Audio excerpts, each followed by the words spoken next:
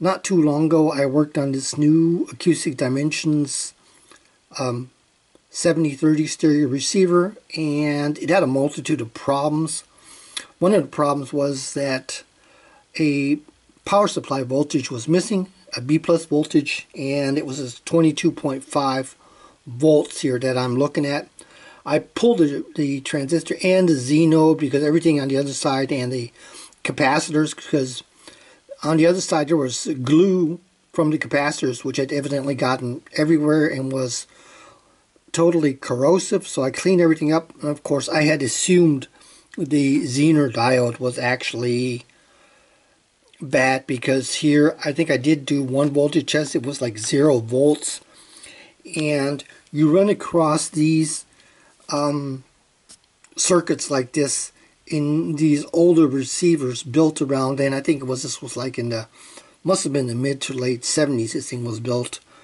Um, these things are called series regulators and these transistors are sometimes called pass transistors or at least they used to be called that because basically what they do is they pass the current. Uh, the current doesn't go through the um, Zener diode mostly it goes through these transistor here and you see on the other side of the component board. I'm look I'm actually looking at it from the solder side now and but on the other side there you'll see like a often they'll have like a plastic mounted transistor with a heat sink. That's because the transistor is basically uh, taking up all of that heat. Um, basically it's kind of acting like a big resistor and of course if the transistor acts like a big resistor, that means there's going to be heat produced. So, um, basically, you'll see this a lot of times that the base will be hooked up to the Zener diode. Of course, the Zener diode is always hooked up um, the opposite way than a normal diode is. Of course, here where I'm pointing at, that's of course the cathode and here the cathode is uh, connected to positive. This is a NPN transistor, so NPN of course. This voltage here where I'm pointing at, collector being highest, and then base middle highest, and then of course this uh, emitter lowest. So, um, and I think I think what it is here, your your emitter voltage is your output voltage. That's going to be this voltage, your Zener voltage here, minus the base to emitter voltage. And how this thing works, basically, well, the base is held to a fixed voltage by the Zener, of course. And then, say for example, if the load, if the load, the load being here on the left here, um, the rest of the circuitry, because over here this is power supply, uh, when the load basically it increases, uh, this is going to pull the emitter voltage down and this is basically going to increase the pulling this down. Remember this is steady here pulling this down. That's going to increase the difference between the emitter and the base. That this voltage is going to get larger and that means the transistor is going to pass more current and of course that's going to go ahead and end up decreasing the uh, collector emitter resistance did I get that straight? Kind of makes sense, yeah. And when the load decreases, the emitter voltage is going to go ahead and go up, and that in turn decreases the base emitter voltage or the base emitter bias, and so the transistor is going to pass less current, um, basically then increasing the collector emitter resistance. So in, in my case, um, I thought it would, was a shorted Zener. Um, so what I'm going to do now is just simulate what will happen if it in fact was a shortest uh, shorted Zener, which it in fact was. So all I'm going to do is clip an alligator clip from here, from the anode to the cathode, and then we'll go ahead and measure the voltage right here at the output. Also, for those people that aren't aware of it, these little triangles here, that just means ground. This anode here is attached to ground. And of course, this little uh, electrolytic uh, 220 microfarad capacitor. Um, one side is attached to ground also. That's all these little triangles uh, stand for. For those people that are not um, all that familiar with these with these kind of circuits or um, electronics repair. So here is the, I've got the power off now. Also, I'm running this thing to a dim bulb tester and a variable isolation transformer. So this is that uh, pass transistor and here is the Zener diode right here. Here's the two leads, terminals. What I'm going to do is just get an alligator clip and where's that thing at? Short across that and right here to the left this is the emitter.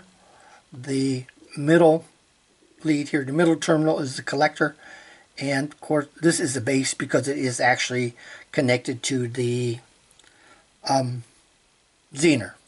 So let me go ahead and try to get a grip. I got to push this metal in. I don't want to short something out even though I do have a dim bulb set up there. Okay. Um, so next we will go ahead. Well, first we're going to first we're going to do is I'm going to go ahead and take this off and we'll measure here the emitter voltage. So let me go ahead and do that.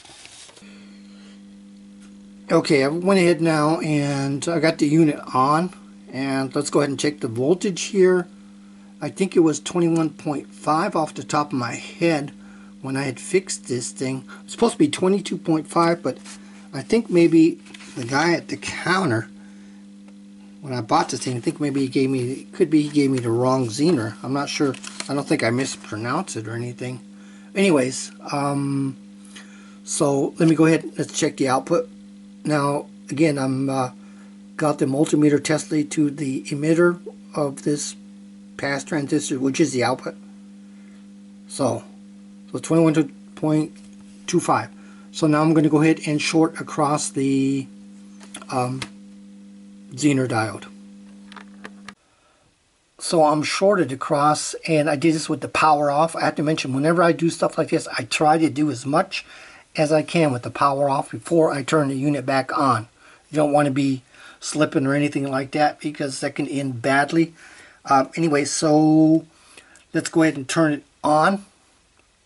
Let's see if the dim bulb tester goes on. No, it doesn't. So, um, check the voltage now.